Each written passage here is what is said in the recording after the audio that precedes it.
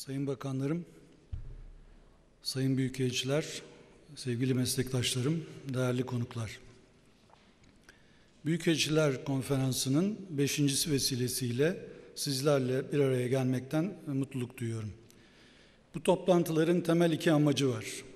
Geçtiğimiz yılın muhasebesini yapmak ve yeni yıla ilişkin önceliklerimiz üzerinde birlikte düşünmek. Tarihin akışının hızlandığı zor bir yılı geride bıraktık. Önümüzdeki yıl en az geride bıraktığımız kadar zorlu bir yıl olacak. Akdeniz'in güneyinde, kuzeyinde, doğusunda, batısında büyük bir dönüşümü dönüşümün işaretleri gözüküyor.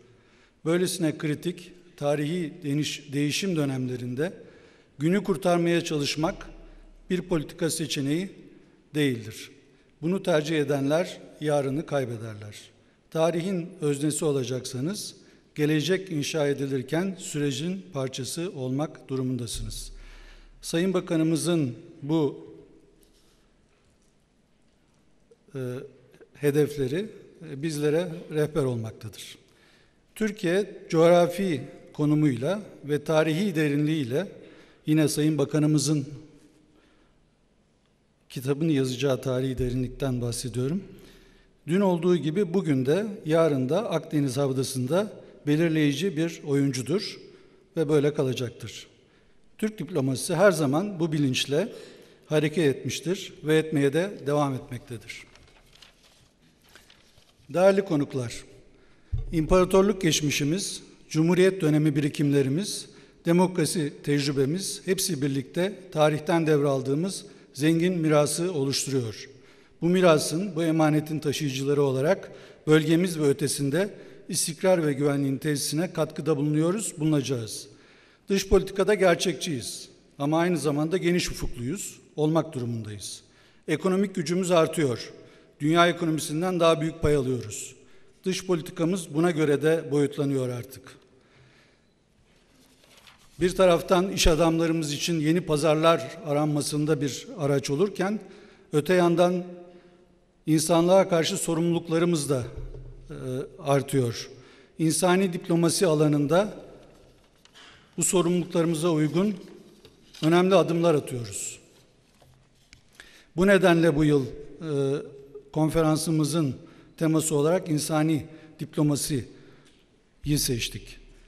Türkiye son yıllarda bu alanda önemli sorumluluklar üstlenmiş ve 10 yıl önce 85 milyon dolar olan dış yardımlarımız bugün 5 kıtada 100 küsür ülkeye yönelik olarak 3,5 milyar düzeyine çıkmıştır.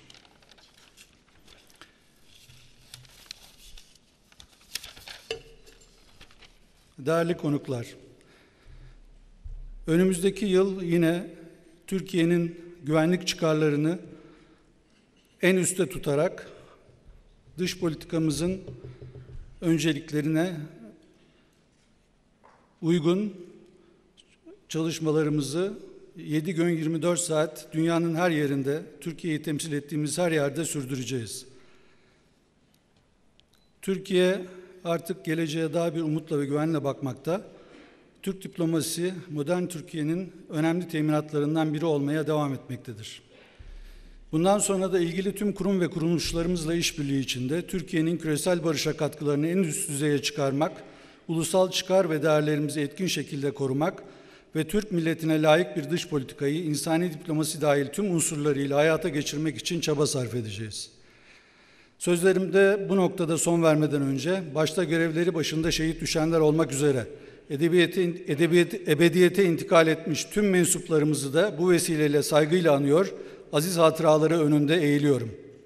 Dışişleri Bakanlığı'nın, dış politikamızın ve esasen Türkiye'mizin bugün ulaştığı noktada hepsinin unutulmaz katkıları bulunmaktadır. Bu düşüncelerle hepinize bir kez daha hoş geldiniz diyor ve konuşmasını yapmak üzere Sayın Bakanımızı kürsüye davet ediyorum. Buyurun Sayın Bakanım.